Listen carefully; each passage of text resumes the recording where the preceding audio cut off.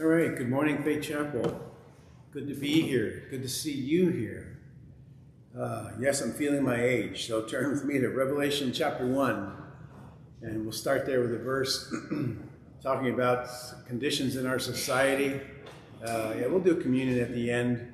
Uh, talking about conditions at, of our society, we could talk about that. We could make that the point of our messages. We could talk about the social conditions in the world. We could talk about the evil our government is imposing upon Christians, the injustices. Um, perhaps we should someday, but I prefer to direct your attention to God's Word. That's all I know, and I don't know enough of that. And since we've been studying in Revelation, and the sub theme is looking for a city, I want to direct your attention to that today. Now, the verse I want you to look at is Revelation chapter 1. And we look at Revelation, and as I go around to nursing homes, I ask the senior citizens if they've studied or read the book of Revelation. Very few have read it or studied it. And that's a shame because we look at it wrongly. We look at it as a thing that uh, it's terrible judgments. We don't understand the symbols. We don't understand these awful things that happen to the earth. But what we must first understand to understand anything of Revelation is this first verse, and that is actually the first words the revelation of Jesus Christ.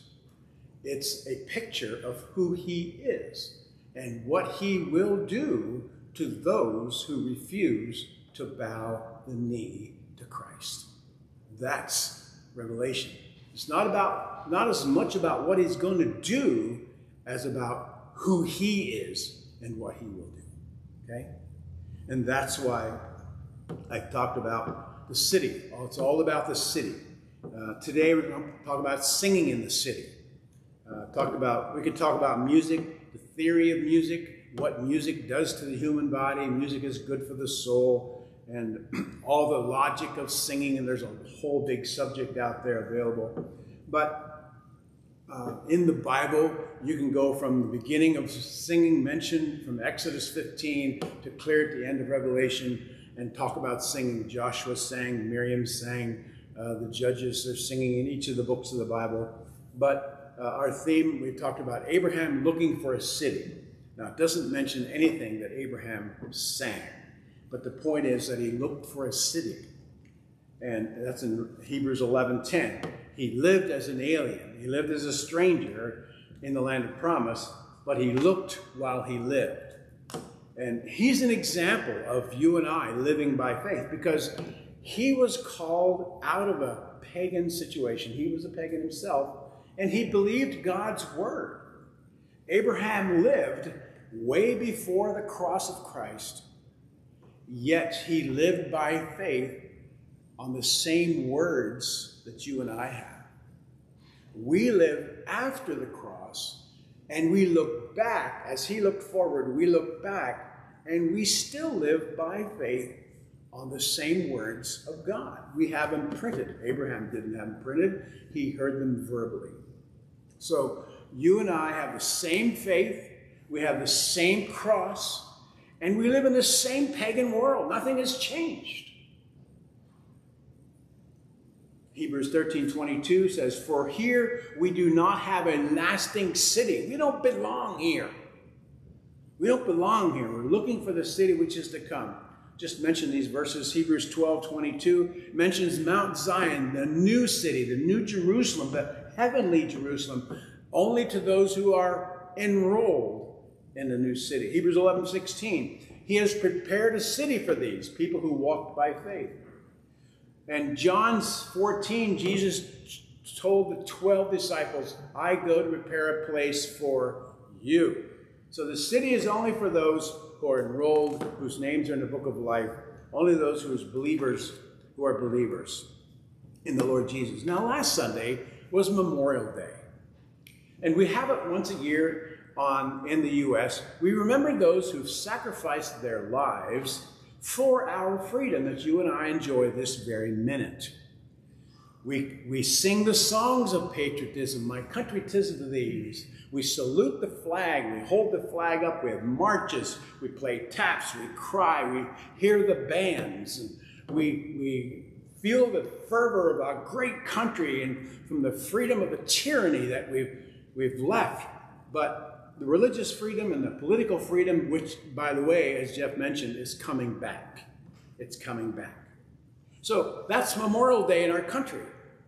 But for the believer, every Sunday should be Memorial Day to remember the one who gave his life for us, the one person, not the many soldiers and many men and women. We honor them, but every Sunday is Memorial Day to remember the one who sacrificed himself. We'll do that in a few minutes.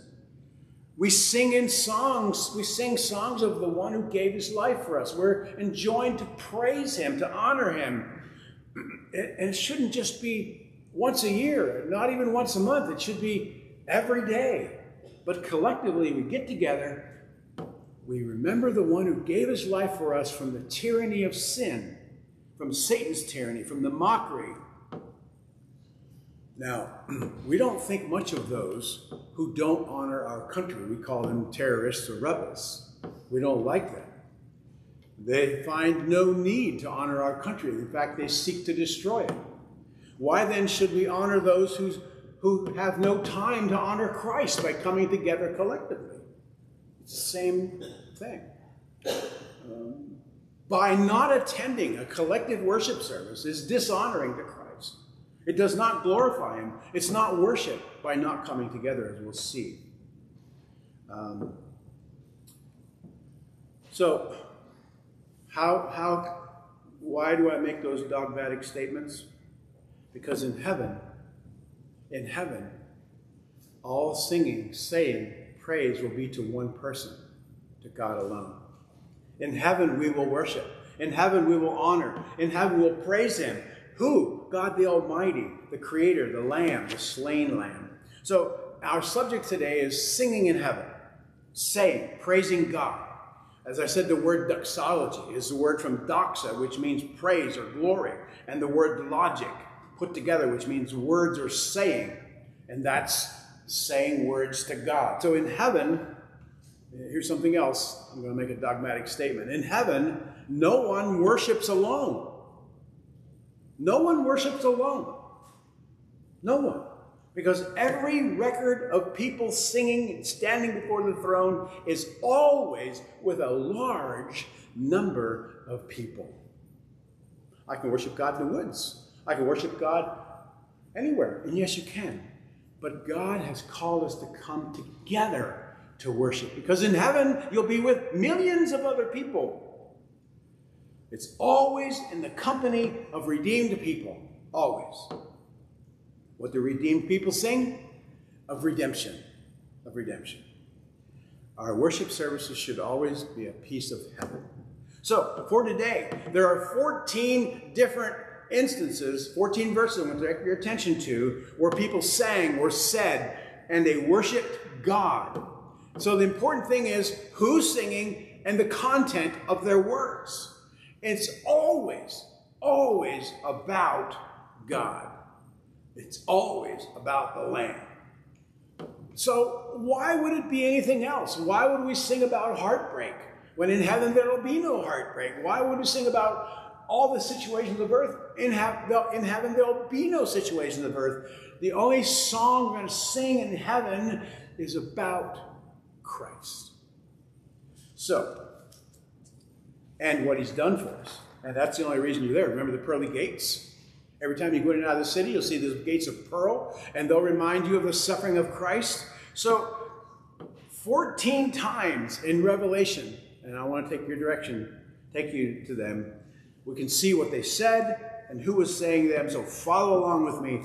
Turn, first of all, to Revelation chapter 4, verse 8. To the very first one. There's 14. I want to take your attention. We'll talk a little bit about each one. Again, not about the theory of music, the logic of music. It's beautiful how there's seven notes, and each, each note is mathematically placed. They mean important, they're important. Just singing who sang and the content of the song in Revelation only. Revelation 4 8. First of all, who's singing? Verse 8.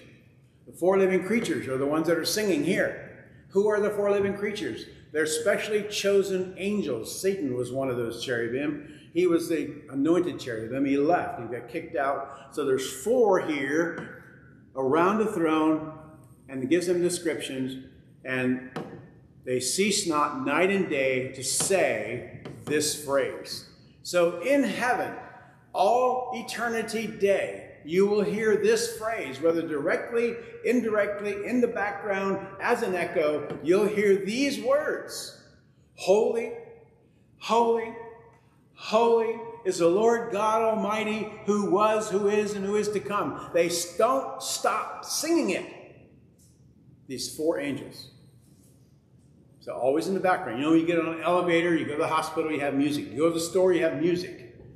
Crazy stuff, I have to admit. But in heaven, the elevator music will be holy, holy, holy is the Lord God Almighty. That's what you'll hear always. Because it says they cease not to say. What does it mean? It means what it says. Holy, holy, it's, it's a reference to Isaiah 6, and I challenge you to look at that. Isaiah 6, when Isaiah stands before the throne and he hears the same thing by the same seraphims. Number two, Revelation 4.11.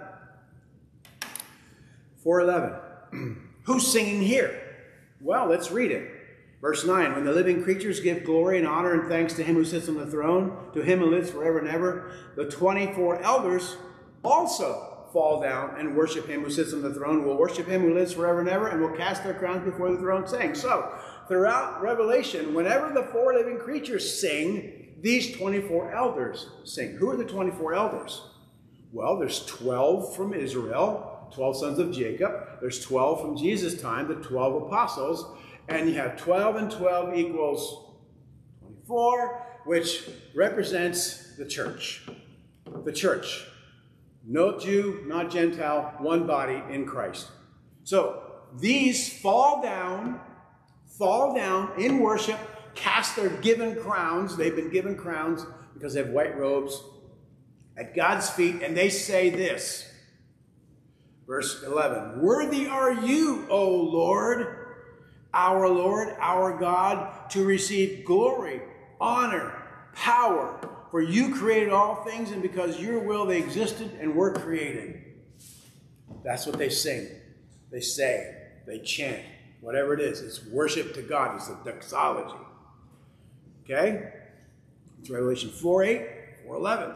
Worthy are you. Now, number three, Revelation 5, verse 9 and 10. Turn over the page, or just that same page.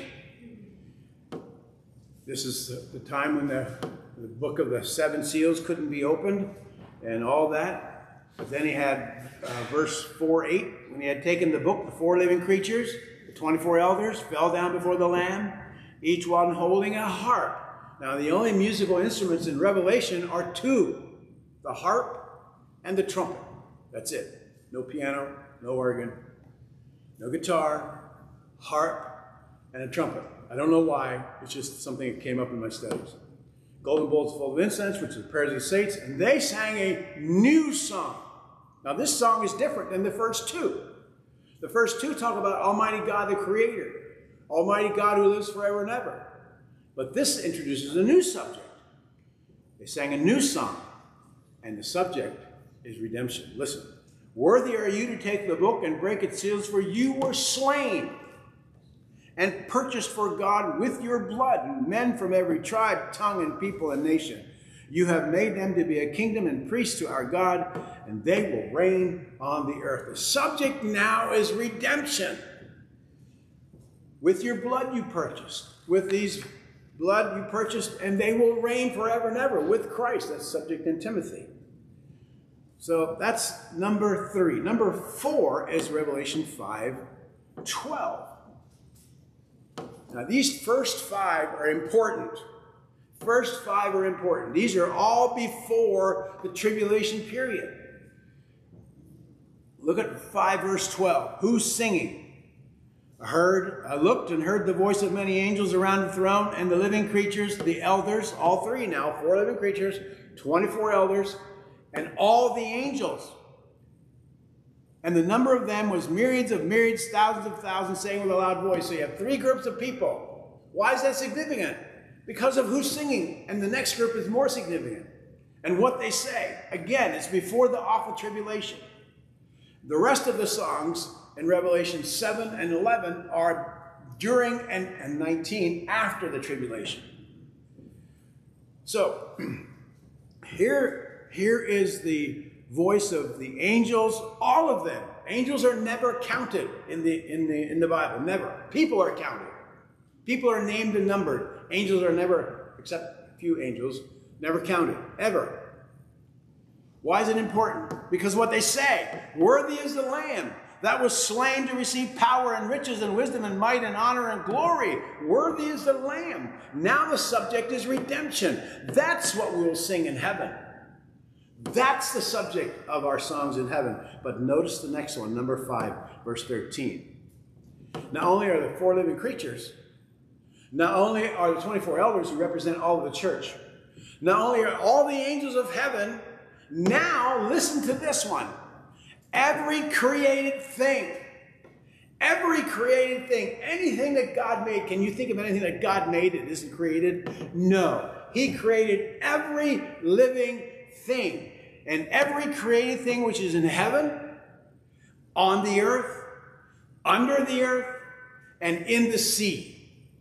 Everything joins in praise in this vast crescendo of praise, saying, verse 13, to him who sits on the throne and to the Lamb be blessing, honor, glory, dominion forever and ever. Ever and ever. That's our subject forever. Heaven will not be boring. We will be joined in singing to the praise to the Lamb. In heaven, on earth, under the earth, and the sea, summed up by saying, every creature, every creature, every creature, to him who sits on the throne, the doxology, the blessing, the honor, the glory, the dominion, forever and ever. We'll hear these songs sung throughout eternity, and you'll be there if you're a believer. The subject is redemption. They fall on their knees and worship. Now, just a disclaimer here. If you're not bowing to the knee now, you're not going to enjoy this because that's what we'll do in heaven. Everybody says they're going to heaven. Everybody's not going to heaven. It's not going to happen. The only way you can get heaven is if your name's in the book of life. And how do we know your name's in the book of life? By how you live, by how you act. People know. Now, Revelation 7.10 is the next one. Now, this is during the tribulation. This is during the awful time on the earth. This is during the grasshoppers, the drought, the rain, the floods, the murders of thousands and millions of people. This is what happens. During the tribulation period, during that seven year time, God will choose 12,000 Jewish evangelists from every tribe, and they will go to the four corners of the earth to preach the gospel of the kingdom as told by Matthew. They are God's evangelists during the tribulation, preaching the gospel of the kingdom. And as a result, people will believe. They'll come to faith in Christ in spite of the work of Satan who wants to destroy them and kills many of them. Many will be killed because of their faith in Christ. Verse 9 After these things, I looked and behold a great multitude which no one could count these are people who've been killed for their faith in the tribulation time. From every nation, all tribes, peoples, tongues, standing before the throne, before the Lamb, clothed in white robes. White robes means they've been cleansed and washed in the blood. Palm branches in their hands. They cry with a loud voice, saying, and this is what these killed people say to God before the throne Salvation to our God. Death is salvation from the tyranny of the enemy. Salvation to our God who sits on the throne and to the Lamb. That's what they sing. Every nation, tribe, people, tongue, standing before the throne in white robes in one accord, singing salvation. Note the words salvation to our God. It's a theme deliverance from evil. During that time, it'll be awful. It will be awful. If you think you have a second chance, it's not going to happen. If you can't believe God now by faith, you're not going to make it then either. Let's look at number seven, which is a continuation of this, this happening here, verse 12. 11 and 12. And all the angels were standing around the throne. All the angels, how many are there? Myriads of myriads, thousands and thousands, and millions and millions of angels around the throne. And the elders, and the four living creatures. These, all these people have been killed. They fell on their faces before the throne, worshiped God, saying, verse 12, Amen blessing, glory, wisdom, thanksgiving, honor, power, and might be to our God forever and ever. Amen. That's the song we're going to be singing. The angels, representative of the church, four cherubim, they all fell on their faces before God. Who are these? And it goes on to say, one of the elders, verse 13, said, Who are these people? Where they come from?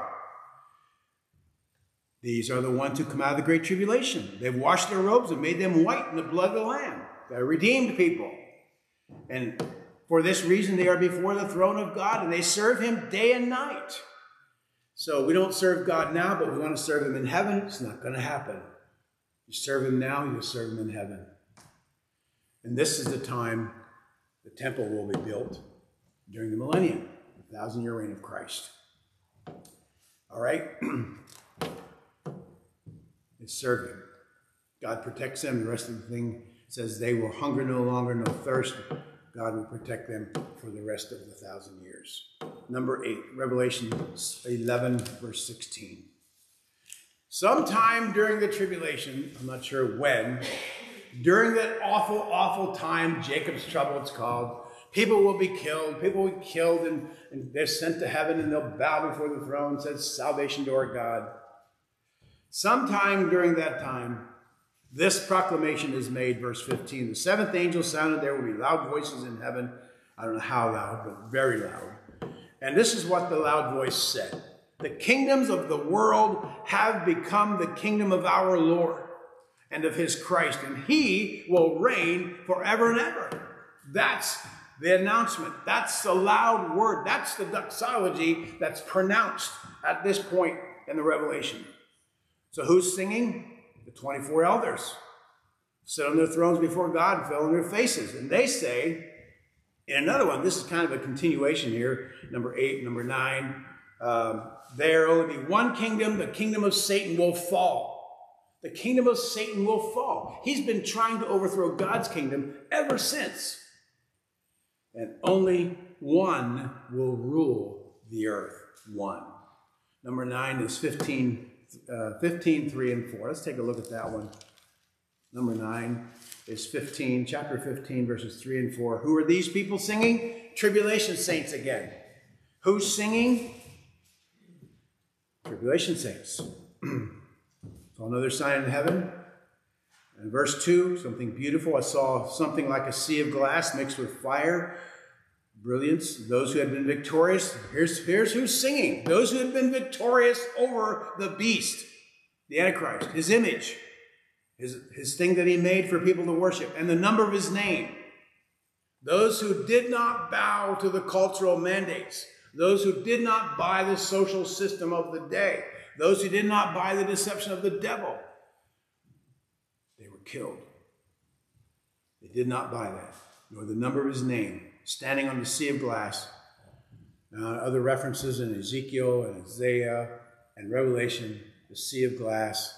Remember in Revelation 21, we talked about the streets of gold are crystal clear. That city is going to be crystal clear, and that's what God's throne is.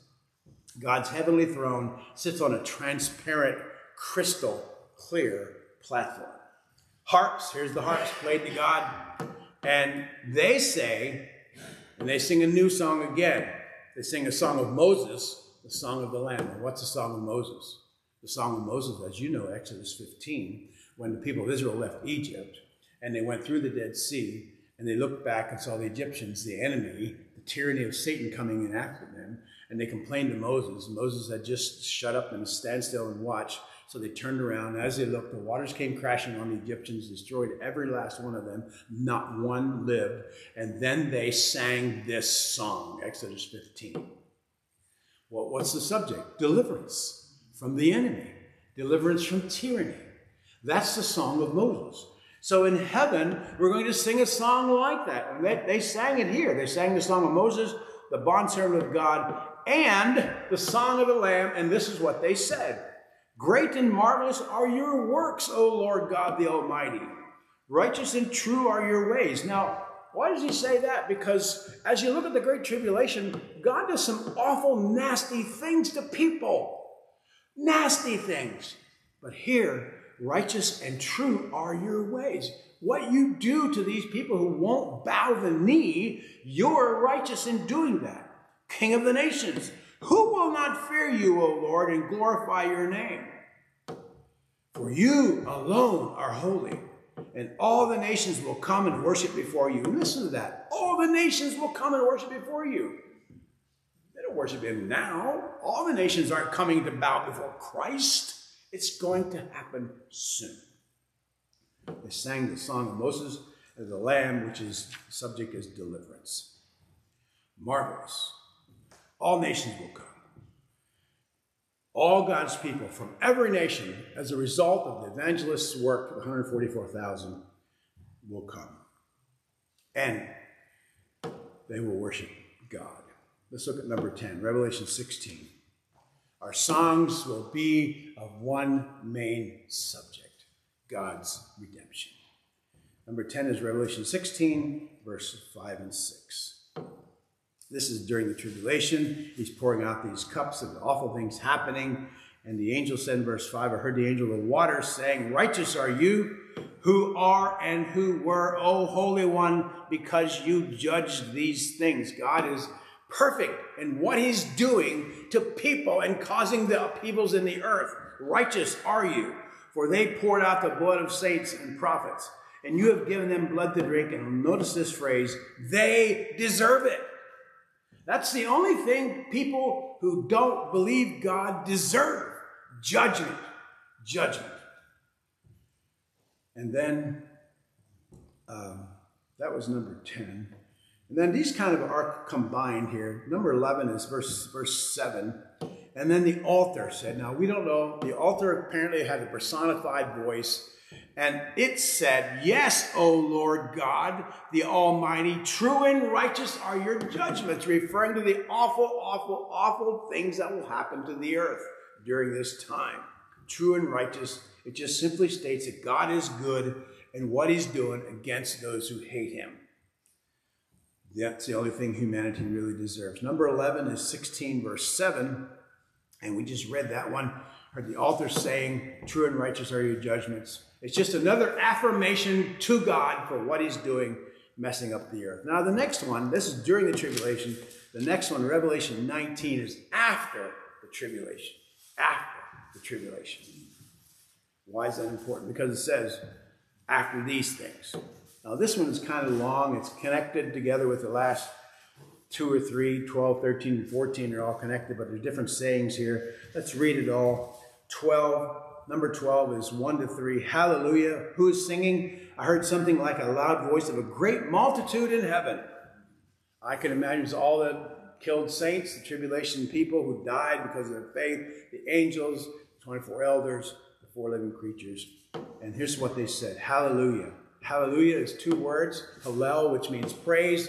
J-A-H is God. Praise God. Hallelujah. Salvation and glory and power belong to our God. And here's a quote. Because his judgments are true and righteous. He has messed up the earth majorly, but he's true and right for doing it. For he has judged the great harlot. Who's the harlot? She is the epitome of all evil. She is, she is one figure of all of Satan's empire because she takes away that which is not hers and takes it to herself, which is related to idolatry and immorality. He has judged the great harlot who is corrupting the earth with her immorality. He has avenged the blood of his bondservants on her. And a second time they said, Hallelujah, four times here. Her smoke rises up forever and ever. And the 24 elders and the four living creatures fell down and worshiped God who sits on the throne, saying, Amen, Hallelujah. And a voice came from the throne saying, Give praise to our God, all you his bondservants, you who fear him, the small and the great. The small and the great. Very significant statement.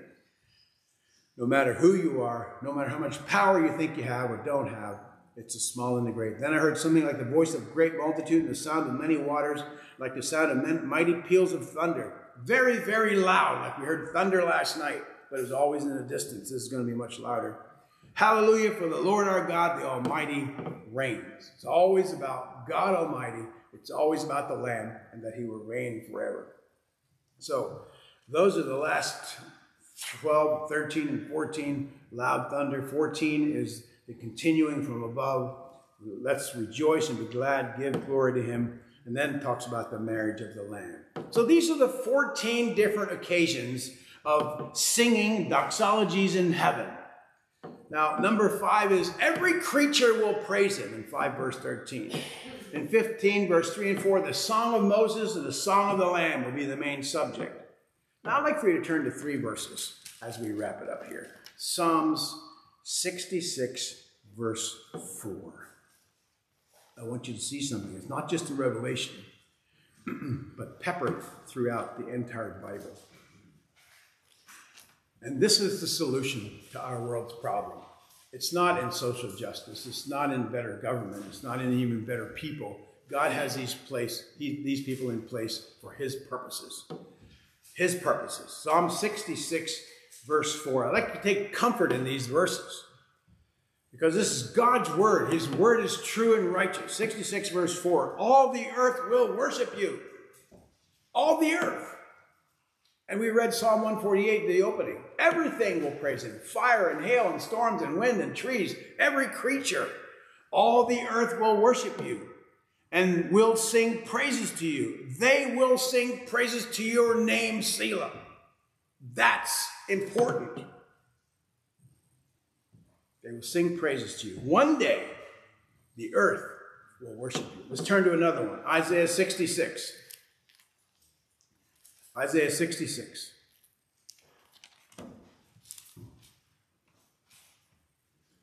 This is what I'd like for you to be inspired with. Look for that new city. Look for singing the songs of praises to God. Isaiah 66, verse 23. One day this will be a reality. One day we'll see it. You're a believer. Verse 23. Let's read 22 to 24. For just as the new heavens and the new earth, which I make, will endure before me, declares the Lord, so your offspring and your name will endure. And it shall be from new moon to new moon, from Sabbath to Sabbath. All mankind will come to bow down before me. But you think you don't have to. Why is it that you don't think you have to? You will one day.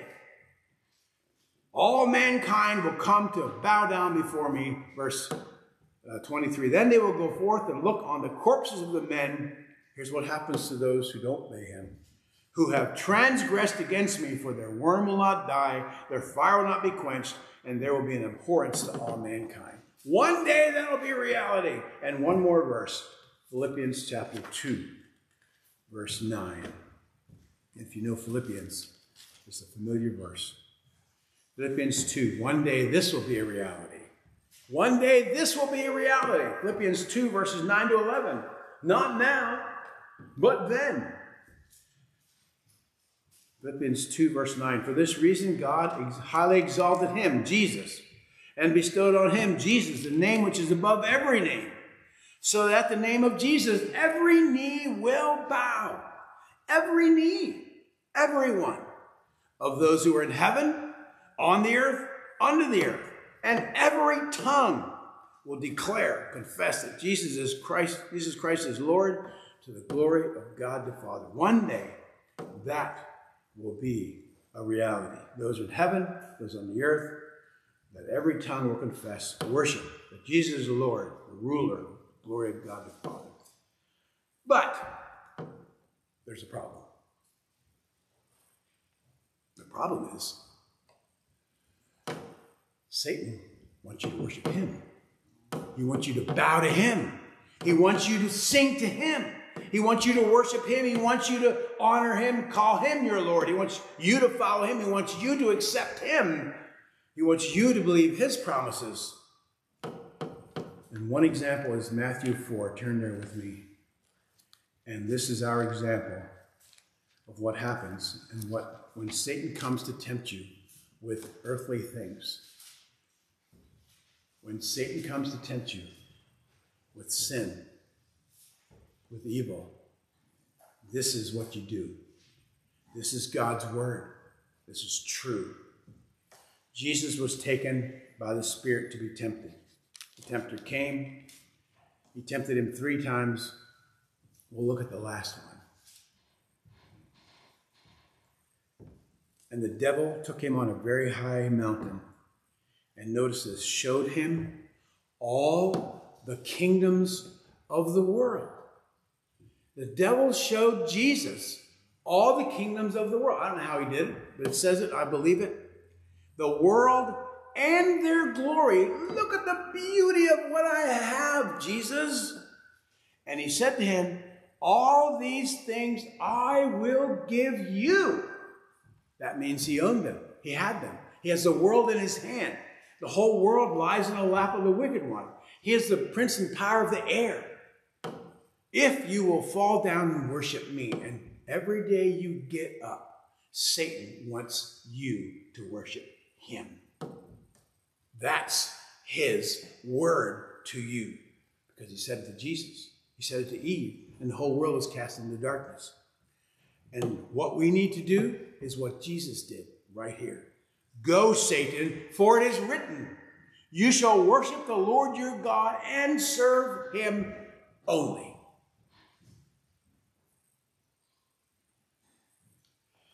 Remember the verse in Revelation? All the kingdoms of the world and their glory belong to God. It's going to, but not yet. So, how do you defeat the deceiver, the imitator? Everything Christ has set up in this world, Satan imitates. That's why in Revelation there's a false prophet beside the Antichrist who's helping deceive you. You know the story about the frog. You throw a frog in boiling water, he'll jump out. But if you put a frog in cool water and turn on the heat, it is said, I've never done it. Have you? He'll boil to death.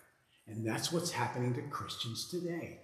We're being boiled to death by Satan's trickery. What we're to do is the same thing Jesus did.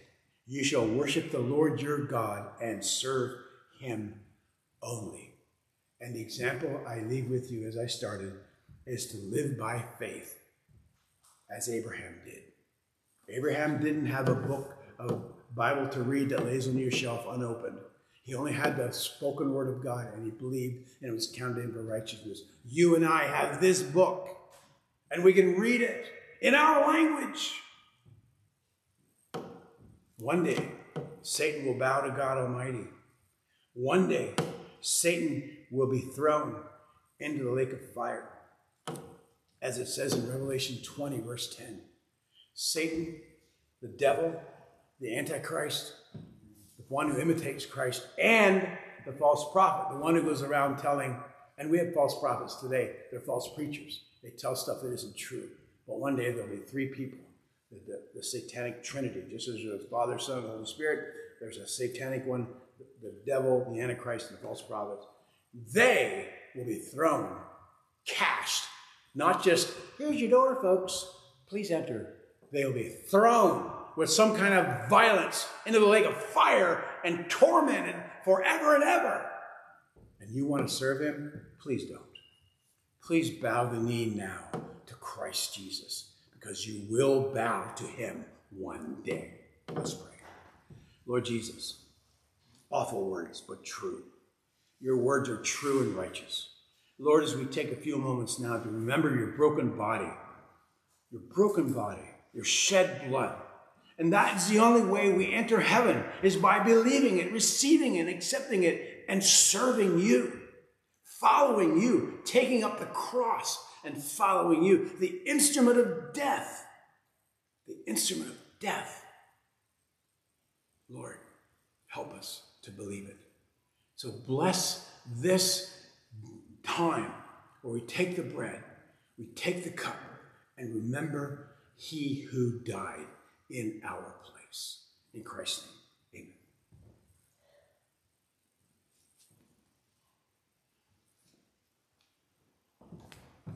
amen. All right.